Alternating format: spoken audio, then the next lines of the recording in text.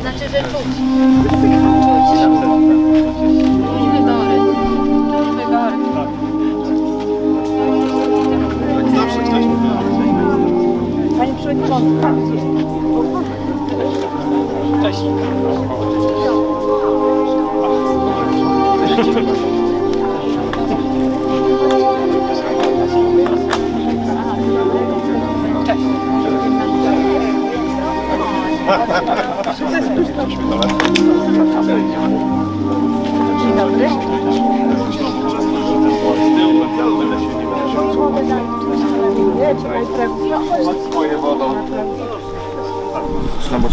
Szanowni Państwo, bardzo serdecznie wszystkich Państwa witam, którzy tu dotarliście 600 metrów od Wrót Warni do głazu poświęconego Mikołajowi Kopernikowi. E, Ja tutaj w tym miejscu nie będę nikogo witał z imienia i nazwiska, bo e, ze sceny zostaniecie Państwo przywitani e, przez e, Panią Wójt.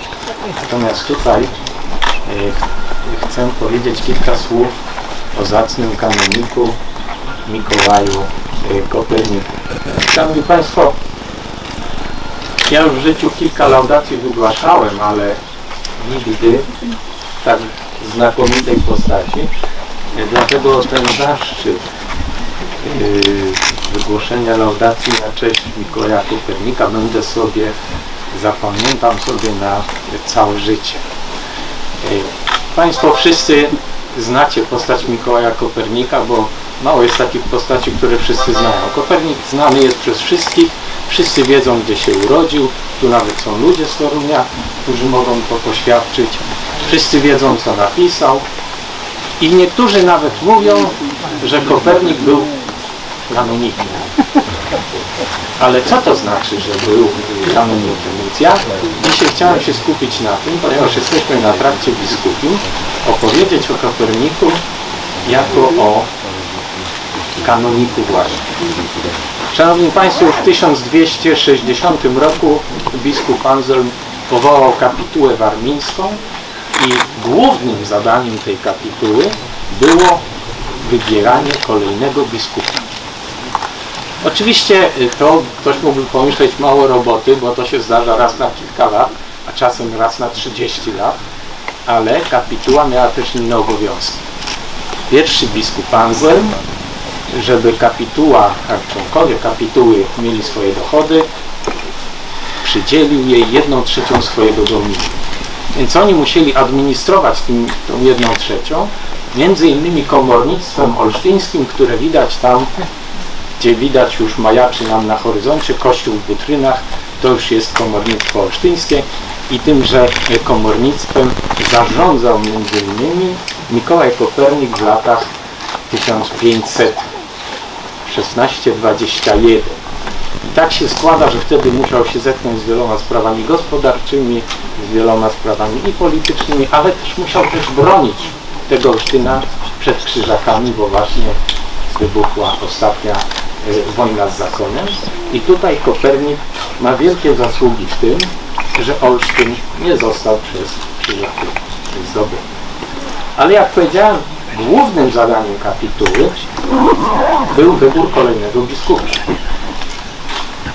Kiedy zmarł Łukasz Waczenrodę, wuj Mikołaja Kopernika, który go tu sprowadził, a tam jest głaz Łukasza y, Waczenrodę, tego znakomitego y, biskupa, y, no to kapituła musiała dokonać wyboru nowego biskupa. I to nie było takie proste, albowiem od czasów biskupa Tungena obowiązywał tak zwany układ piotrkowski, który zobowiązywał kapitułę do wyboru biskupa miłego królowi. Było zapisane persona grata. Nie non grata, jak teraz często słyszymy, że kogoś się chce wydawić, tylko właśnie grata. No a skład kapituły był jeszcze stary, sprzed wojny 13-letniej, więc tam osób miłych królowi tak wprost nie było dużo. Ciężko było kogoś wybrać. Ostatecznie zdecydowano, że zostanie wybrana postać Fabiana Luzjańskiego, jego tablica tutaj stoi. Dlatego nieprzypadkowo w tym miejscu właśnie Kopernik wśród tych postaci został postawiony. Fabian Luzjański wydawało się kapitule, że będzie miły królowi, ponieważ jego matka pochodziła ze znakomitego polskiego rodu kościeleckich. Królowi sama postać może się jak podobała, czy nie podobała, trudno powiedzieć, natomiast sposób wyboru królowi się nie podobał, bo król nic nie wiedział, że umarł biskup i że wybrano jego następcę, a król w tym czasie obsadzał wszystkie biskupstwa w Polsce. Warmia miała swoje specyficzne prawa i tych swoich praw broniła. Dlatego król zgodził się ostatecznie na Fabiana Luzjańskiego, ale wymógł na kapitule podpisanie kolejnego układu. Też Piotrkowskiego, tylko drugiego. I pod tym drugim układem Piotrkowskim podpisał się m.in. kanonik Mikołaj Kopernik. A ten drugi układ mówił, no i to jest ciekawostka, proszę Państwa, bo Państwo zaraz znajdziecie odniesienie do czasów współczesnych, że kapituła wyśle, przede wszystkim powiadomi króla o śmierci biskupa, potem wyśle mu nazwiska wszystkich członków kapituły, a król z tych członków kapituły stworzy listę czterech. I spośród tych czterech kapituła wybierze oczywiście tego pierwszego na liście. Więc jak Państwo widzicie, tworzenie list wyborczych i znaczenie pierwszego na liście było znane już 500 lat temu. Nie jest to nic dzisiaj nowego. I tak się też stało. Kapituła powiadomiła po śmierci Fabiana Luzjańskiego, że y, zmarł biskup, wysłała listę i król przysłał cztery nazwiska. Na pierwszym miejscu był Paweł Łotowski.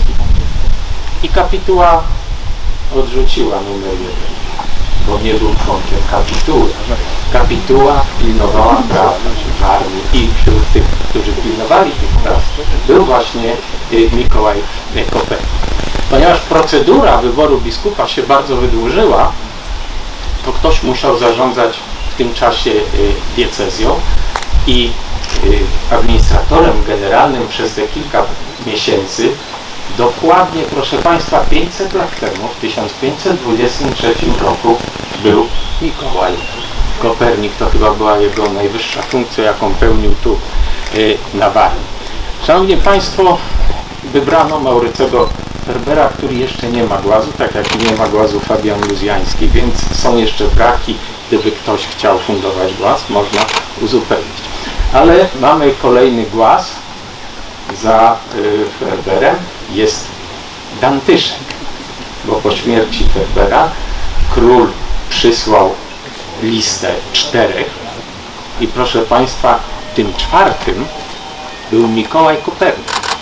To najlepiej świadczy, jakim szacunkiem darzył król Mikołaja Kopernika i jakim zaufaniem go obdarzał, skoro na, zamieścił go na liście czterech, spośród których kapituła miała dokonać y, wyboru biskupa.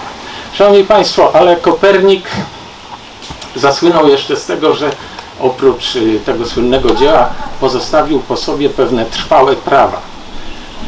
Y, Myślę, że wiele z Państwa słyszało o prawie Kopernika Graszama, o tym, że słabsza moneta wypiera tą mocniejszą, to znaczy chodzi dokładnie o zawartość kruszcu w monecie. Ale mało kto z Państwa pewnie kojarzy, że ten Graszam miał 5 lat, kiedy Kopernik formułował swoje myśli. Więc tu prawo pierwszeństwa co do tego prawa jest oczywiste.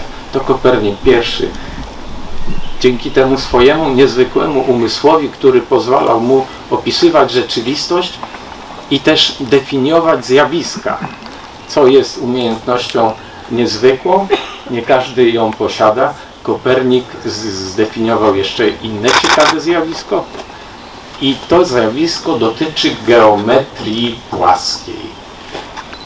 Kopernik, no słyszeliście Państwo na pewno o, w szkole o różnych tam y, prawach y, czy, czy y, z arytmetyki, czy, czy, czy z algebry, a tu jest prawo Kopernika, to, która, które dotyczy geometrii. I teraz ja nie wiem, czy ja mam to Państwu wytłumaczyć, czy nie. Ale, ale ja to prawo y, przestudiowałem i ja je rozumiem, jest to ciekawe prawo. E, Można rozrysować. Zachęcam, można rozrysować, bo dotyczy dwóch okręgów, dużego i małego. Kartkówka na koniec I, proponuję Państwu zajrzeć sobie w internecie i spróbować to rozrysować, bo y, jaki trzeba mieć genialny umysł, żeby takie prawo sformułować naprawdę. Proszę Państwa, gdybym miał na koniec powiedzieć o Koperniku zwyczajnie tak, jako człowieku. No pierwsze, co mi przychodzi do głowy, że była to postać niezwykle skromna. Drugie, y, niesamowicie pracowita i też obowiązkowa. Ale podkreśliłbym też mocno, że był Kopernik patriotą Rzeczypospolitej. To była akurat Rzeczypospolita, która przeżywała swój złoty wiek. To była Rzeczypospolita wielonarodowa i wielokulturowa. Więc można też powiedzieć, że Kopernik się dobrze w niej czuł, bo też był Europejczykiem. Ale też według mnie Kopernik był patriotą armii. Tej swojej małej ojczyzny, tej, na której y, my tutaj, przynajmniej część z nas, y, żyje. I proszę Państwa, gdyby Kopernik nawet nie napisał Revolutionis Orbium Celestum, to i tak był postacią, która jest godna naśladowania. Dziękuję Państwu za uwagę. Proszę Państwa, chciałbym e, poprosić dwie zacne osoby o odsłonięcie głazu. Przede wszystkim ekscelencję arcybiskupa e, Józefa Górzyńskiego i fundatora głazu, starostę olszyńskiego Andrzeja Abata. Bardzo proszę.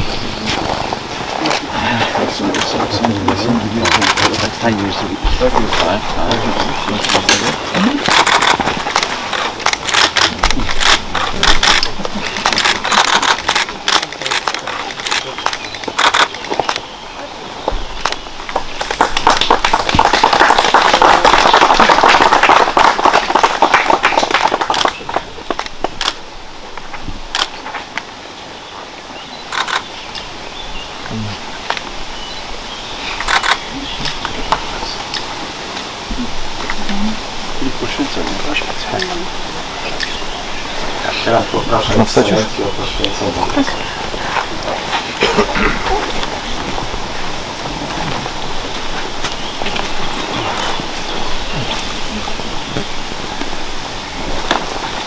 Pan z wami. Niech imię Pańskie będzie błogosławione. Módlmy się.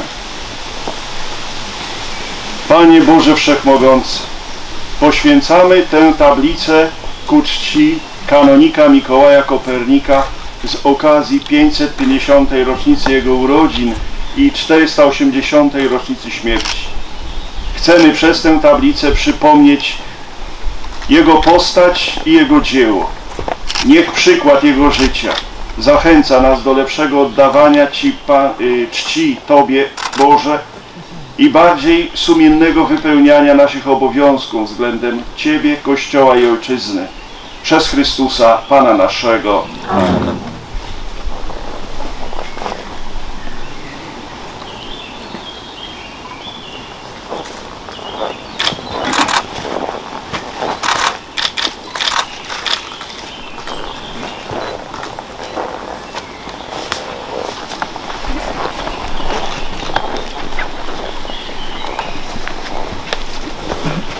Poproszę Pana starostę o kilka słów. Księże arcybiskupie, panie i panowie ministrowie, pa, panie i panowie posłowie, pani senator, pani marszałek, e, wszyscy zaproszeni nasi goście, panie wójt. E, mam tremę, ponieważ e, e, jestem na jednym głazie z Mikołajem Kopernikiem i bycie na tym jednym głazie z Mikołajem Kopernikiem to olbrzymi zaszczyt, ale jednocześnie ol- olbrzymie zobowiązanie. Tak jak tu pan przewodniczący Jerzy Laskowski już powiedział, Mikołaj Kopernik żył w tych czasach, gdzie Warmia, można powiedzieć, przeżywała złoty e, czas e, rozkwitu i rozwoju. Ja bym powiedział tak, powiat olsztyński też teraz przeżywa swój złoty czas rozkwitu i rozwoju. Prowadzimy wiele inwestycji na terenie powiatu dzieje się wiele, wiele się buduje firm. W związku z tym można powiedzieć, że czasy są zbliżone i podobne do, e, do tych, które przeżywał Mikołaj Kopernik. Mikołaj Kopernik był naukowcem, który e, wyprzedzał swoją epokę zdecydowanie w wymyśleniu i w tym, e, co zrealizował. I my też na szlaku e, bałdowskim, na szlaku biskupim, który od samego początku tworzy historię w armii i tu specjalistą od tej historii jest pan przewodniczący Jerzy Laskowski. Mógł wam opowiedzieć przy każdym głazie, przy każdym biskupie bardzo ciekawe historie i opowieści, jak ta armia powstawała. E, Też robimy taką nowinkę w stosunku do całości e, te, tego naszego bałdowskiego e, szlaku biskupiego. Bo stawiamy tabli, tablicę Mikołajowi Kopernikowi, gdzie po raz pierwszy pojawia się język angielski. Wszystkie tablice, jak Państwo będziecie szli, to są w języku polskim i niemieckim. Czyli wprowadzamy jedno nowum, które jest nowością. Drugim nowum to są kody QR, które jeden jest poświęcony Mikołajowi Kopernikowi, drugi jest poświęcony Bałdem i Szlakowi Świętej Warmii. Pojawiła się tem te, też na środku muszelka Szlaku Świętej Warmii, czyli symbol Stowarzyszenia Szlaku Świętej Warmii. Taką muszelkę ma wpiętą też swoją klapę, bo jestem przewodniczącym Stowarzyszenia e, Miast Powiatów e, Szlaku Świętej Warmii, czyli tego stowarzyszenia, które jest największym stowarzyszeniem samorządowym na Warmii i Mazurach. W tej chwili są to 33 samorządy, jednym z nich jest y, y, Kurda e, i tutaj obecna pani e, wójt e, Teresa Chrostowska. Jego ekscelencja jest, jeszcze może nie wie, ale za chwilę się dowie, jest członkiem honorowym tego stowarzyszenia, jak również pan marszałek, pan wojewoda i pan rektor, bo chcielibyśmy, żeby to stowarzyszenie, które e, mówimy o naszym, naszej ziemi warmińskiej, miało też godnych patronów honorowych, e, którzy będą nas wspierać w, czyn, w czynach, które chcemy robić. E, dziękuję e, przede wszystkim Państwu, żeście dzisiaj poświęcili swój czas e, pięknej, pogodzie warmińskiej, przybyli na ten kiermas, największy kiermas warmiński na terenie Warmii i życzę Państwu dzisiaj dobrej, miłej, spokojnej zabawy w dobrej atmosferze, tak żebyśmy wykorzystali ten czas e, e, ziemi warmińskiej i Bałt e, i tego kiermasu do tego, żebyśmy się dobrze bawili w tej chwili.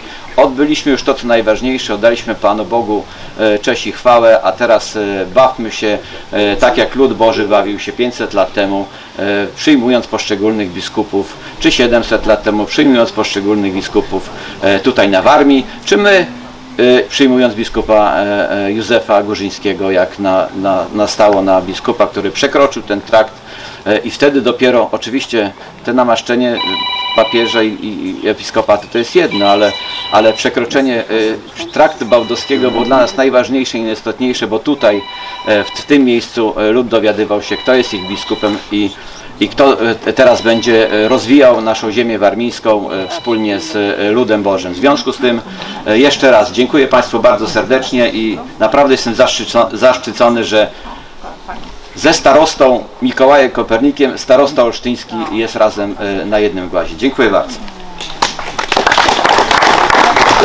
Szanowni Państwo, tu już kończymy uroczystość przy głazie. Ja zapraszam Państwa teraz spacerkiem w kierunku sceny. Tam odbędzie się inscenizacja. W tym roku nie będzie powitania nowego biskupa, tylko inscenizacja będzie dotyczyła tej zacnej postaci kanonika Mikołaja Kopernika. Chodźcie, zdjęcie może jeszcze. Panie Przewodniczący. A tu? Jest.